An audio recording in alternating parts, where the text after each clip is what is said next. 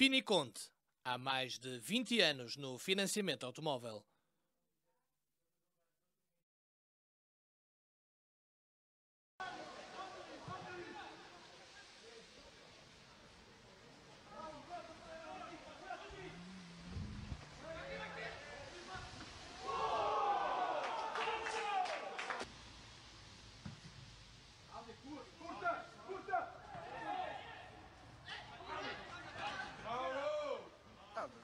Vai cobrar.